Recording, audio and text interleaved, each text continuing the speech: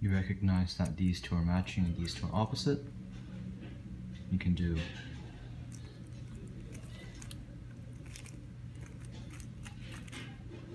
so again?